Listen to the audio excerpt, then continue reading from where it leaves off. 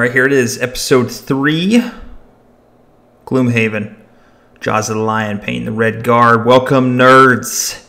trying to get these videos out as quickly as possible. We're going to be turning this gray, ugly, just flat out ugly model into uh, this beautiful piece of art that's about to pop up on the screen. Ooh, decent. Hey, if this is your first time coming to the channel, do me a favor hit that subscribe button. Hit that little ding button, the little bell or whatever it is. So when I post new videos, you can watch it and say, God, this guy sucks. But I like watching them because I maybe learn a thing or two, or I just want to follow along, listen to some good music, hear me talk real quick. So hit that subscribe button. Do me a favor. So we're going to be doing uh, the Red Guard. Uh, it's going to be the back. We're going to be doing some um, blending techniques with some Lahmian medium to make the uh, red stick out a little bit more in certain places and uh, not so much in other places. We're going to be following the card of the game, and as you can tell, the back cape is a little bit darker red orangish that we can see, so we're going to go in some orange tones in here. So without further ado, all right, uh, let's go.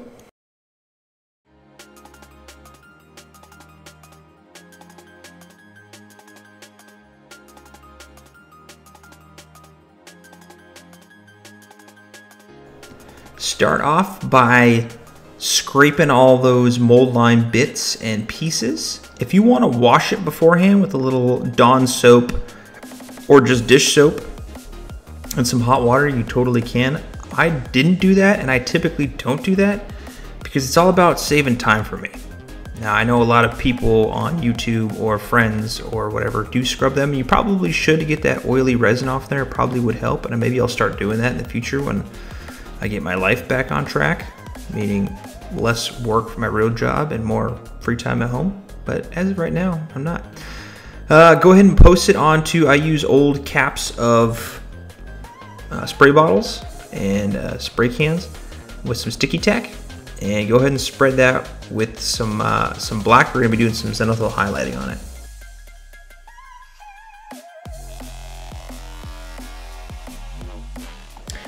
If you're using some spray paint, do it outside unless you're going to use a ventilator like I have on out of camera. And once you spray it all with black, I'm using Chaos Black. I'm going to uh, spray some gray, some Citadel Mechanicus Standard Gray from a 45 degree angle away. If you want a little bit better idea on how to do prime, uh, watch my prime video. Um, it's under my playlist. Uh, once we're doing and done with the gray, we're going to move on to a little uh, Corax white from directly above. Very quick spray. Make sure you're doing it from a distance away to give it that nice zenithal highlighting, meaning that the sun, the lighting of the character is going to be as if the sun were directly above it in the cast of shadows. So once that's done, uh, we should be ready to go here in a second. You can either remove your uh, character from the top of the spray can top and move it to a holder or you can keep it there, whatever you want to do.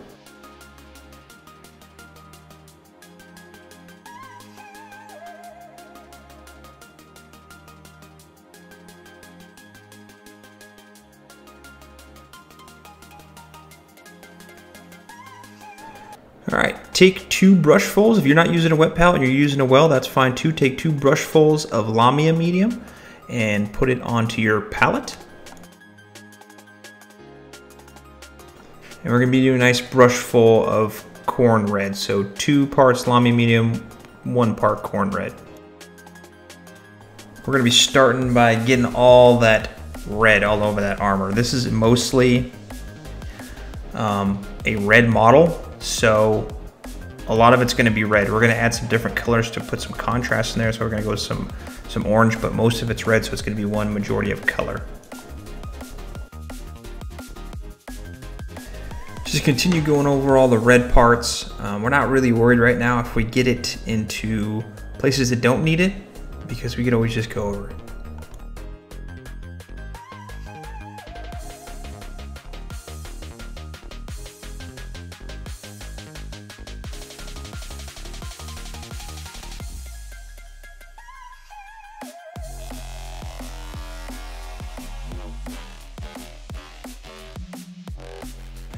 Sure we're getting the top of the helmet to include the horns.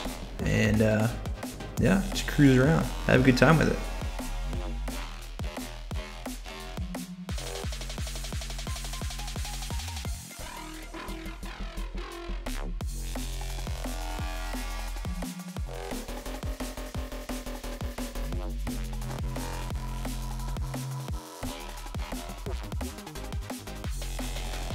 All right, we're gonna go two parts Lahmian medium, one part Mephiston red.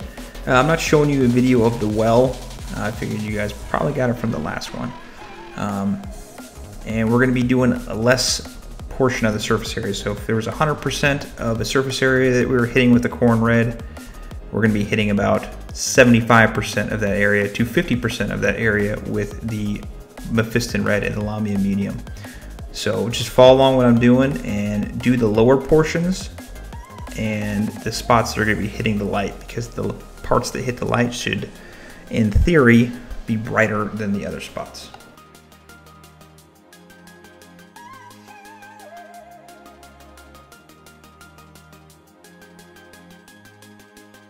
Just make sure we're hitting all the pieces of armor.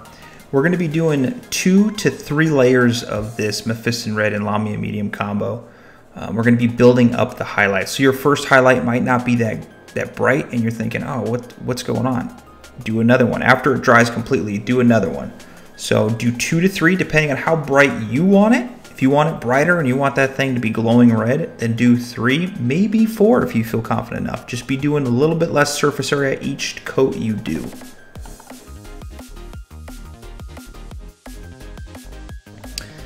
I think for all the spots that hit the sun, I ended up doing three coats for each. It's kind of a process, it takes a while, but uh, you want it to look decent on the table, and so we're taking a little bit extra time on it.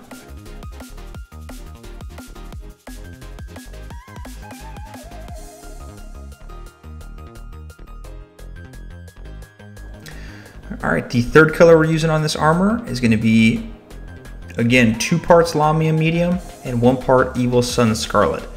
Now we're going to be doing a smaller portion of this. You can do 25% of the surface area you're going to be painting, so just follow along what I'm doing. Hit those bottom portions of it, um, the edges, make sure we're getting the edges, and getting 25% total surface area on the actual spot we're painting. So just go around and get less and less. Again, two to three coats. If you want it a little bit brighter, you can go four in certain areas. Make sure you let it dry between each coat completely. This stuff dries fairly quickly with the medium in it. Um, and make sure we're just hitting those spots. So depending on how bright you want it.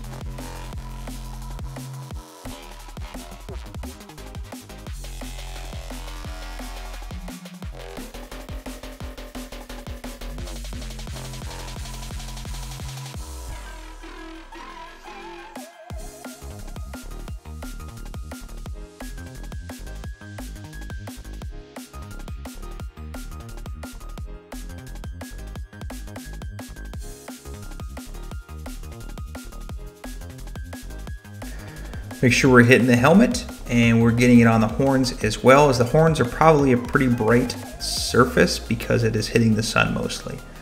Uh, again, two to three layers. Just take your time, enjoy it.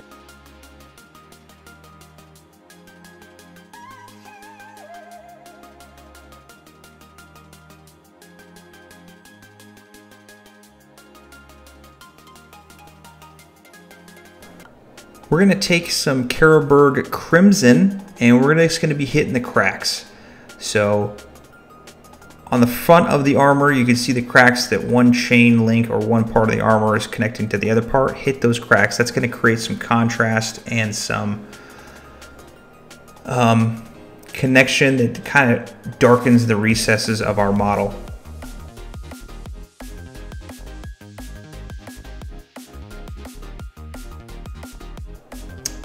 Hey, if you got a break while you're letting the, the wash dry, pick up your phone, head over to uh, Instagram, check us out, nerd.knights.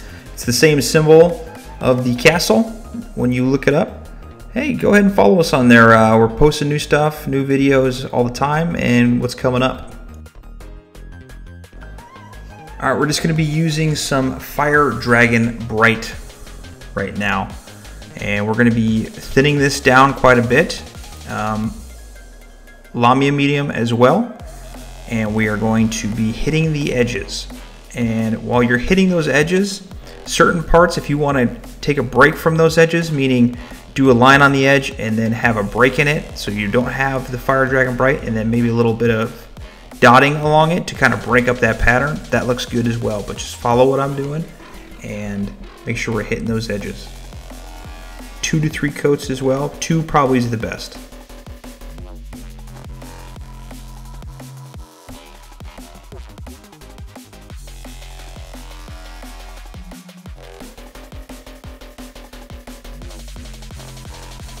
As you can see in certain spots, I have it um, a thicker line compared to a thinner line.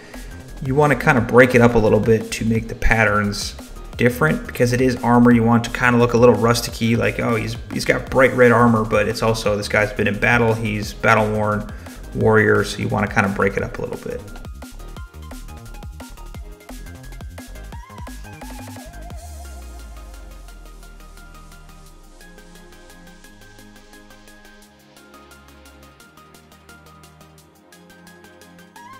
And that's how my model turned out. So it looks pretty decent.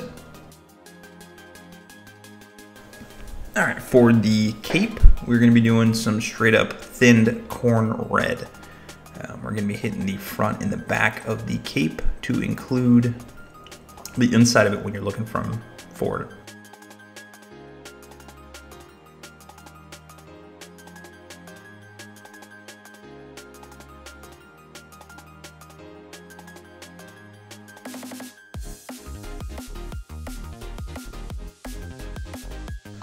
While that's drying, hit the tail, the little devil tail, um, with some Mephiston red, thinned down, of course.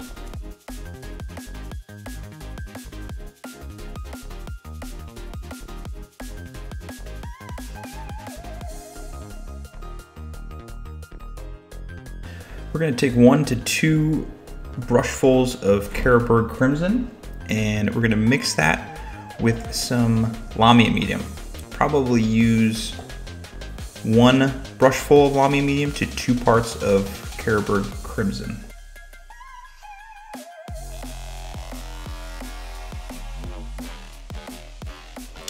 We're going to be applying this to the cracks only, the crevices um, of the cape. This is going to build the contrast, but it's not going to build it so much that it's going to look super weird when we're going to put on the other layers that are going to go on the raised edges of the cloak.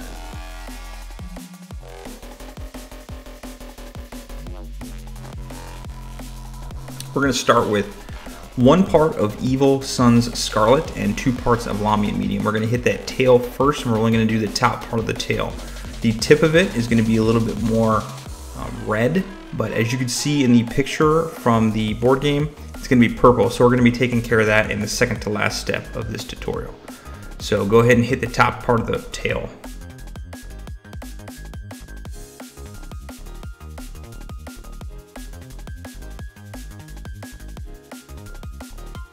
We're going to start working on the cloak, and by doing that, we're only going to be hitting the raised areas. It's going to take two to three layers of this, since it is a thinned paint. We're going to build up that, that contrast.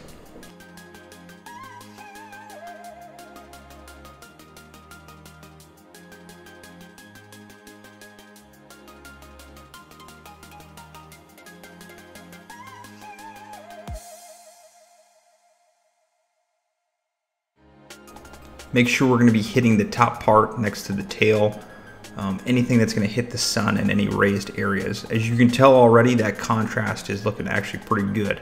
If you wanted to, you could keep it like that. I took it forward a couple steps because the game art, he looks more oranges and it's a it's an orange, more oranges type of red. So we're gonna pick that up. But if you wanna keep it here, that looks fantastic that way and it's got that nice contrast.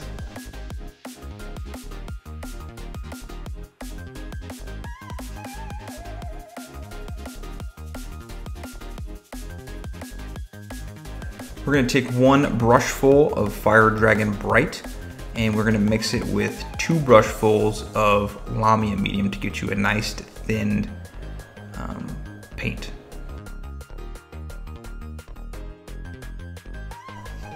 While you're brushing on that paint, go ahead and uh, hit that subscribe button if you like what you see so far. Appreciate it. You're the best ever.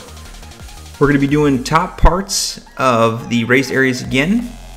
You want to make this a smaller surface area you're painting compared to the red we put on before. Two to three coats again, and each time you do it, you want to do less and less on that surface area. That way you build up that contrast. Make sure to hit the areas uh, on the edges of the cape as the sun would be hitting those specific spots.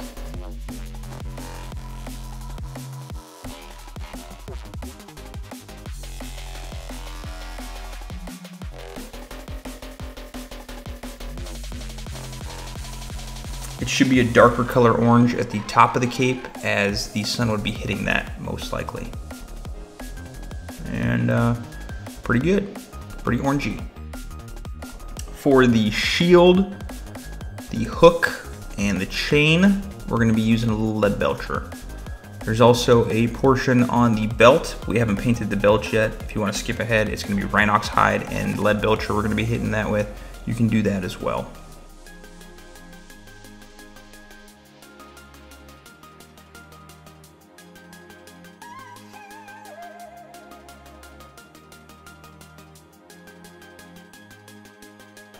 Switch to a smaller brush when hitting those chains. I was using a size 10-0 brush, Rosemary & Co. Love those brushes. Not sponsored by them, because today's sponsor is Nobody Again. Per usual, maybe one day. We'll get there. For the sun on the shield, we're using Balthasar Gold. 10-0 brush.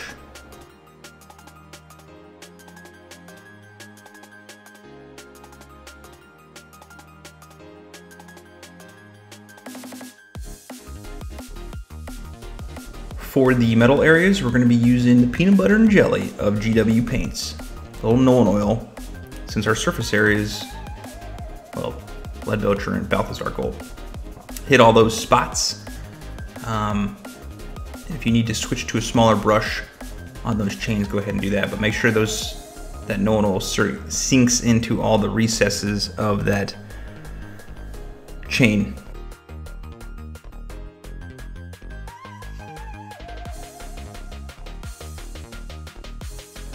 To brighten up those now dull highlights, we're gonna be using a little Ironbreaker. I'm gonna use it on the edges of the shield, edges of the hook, and I'm gonna be hitting the top portion of the chains, keeping the recesses dark. Just follow along what I'm doing and do not get in the recesses of those chains because those chains are gonna look really good once you hit the Ironbreaker on top of them mixed with the next color going to be using, which is going to be Stormhost Silver here in a second.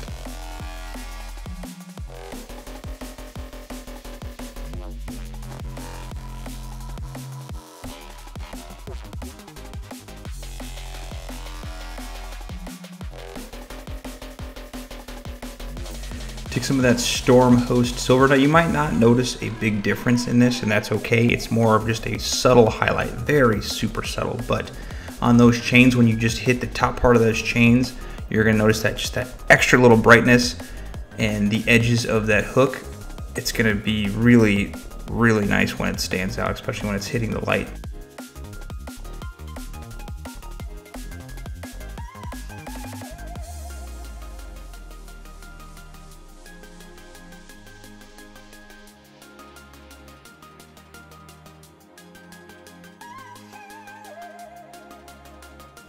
For the skin of our red guard, we're going to be using a little Tuskgor fur.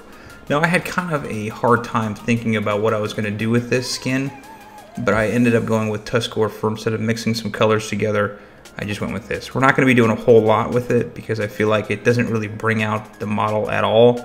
And there's there's not any facial features really that are on this model. It's too small, it's too hard to get to without just cutting off the arm and trying it that way. So we're just going to hit the the skin portions as I'm doing in here, obviously, and doing just that. We're gonna put a shade on it and that's gonna all we're gonna do.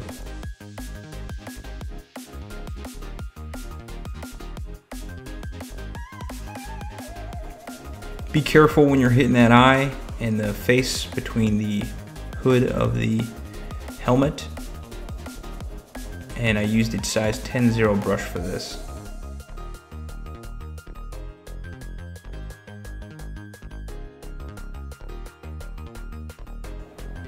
Hit the skin with a little Reikland Fleshshade and that's all we're gonna do. If you look at the character card, his face facial expressions are so dark you can't tell, so let's just keep it that way.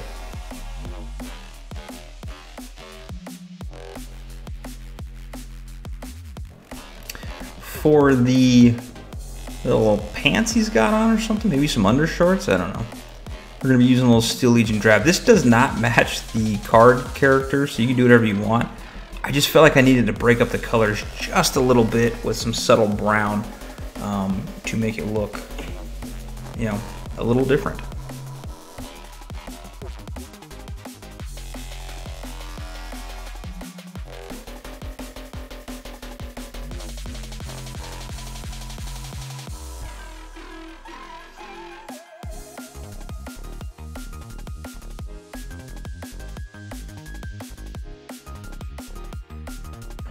Like mentioned earlier, for the belt, we're gonna be using a little Rhinox hide front and make sure you hit the sides as I'm doing here.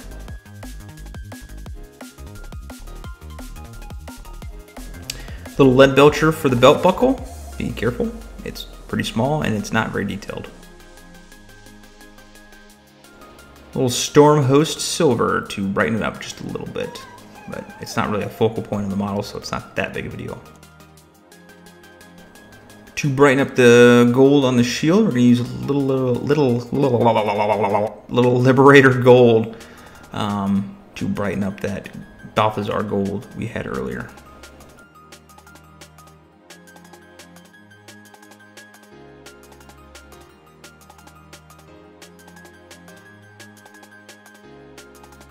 For the shoes and the gloves, make sure you hit those gloves, especially the one behind the shield. You don't really have to highlight the shield because obviously no one's going to see it. I'm using a little dark gray from Model Color Vallejo. If you have something comparable, just use that.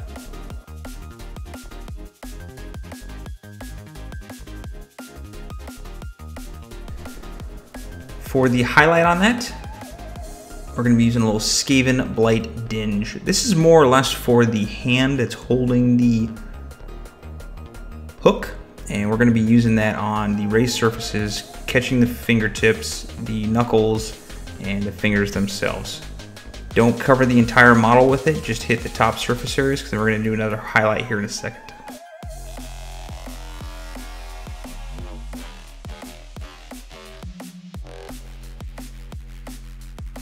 Storm Vermin Fur for the highlights. I didn't use this on the shoes, I'm just purely doing this on the hand. I put it on the fingers, the finger knuckles, and the fingertips. Any portion that would actually get hit with the light and make it kind of give a little contrast. So you can hit, do some edge highlighting on this with the portion that's kind of touching the red just to kind of give it a little light versus dark.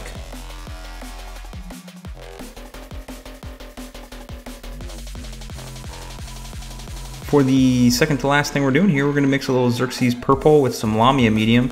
Two parts Lahmian medium, one part Xerxes purple. We're basically kind of giving that edge, or sorry, the tail a little wash in purple. The red's going to stand out a little bit, but it's going to give you a purple tail, which is going to look pretty nice as far as the card art is concerned and what it looks like.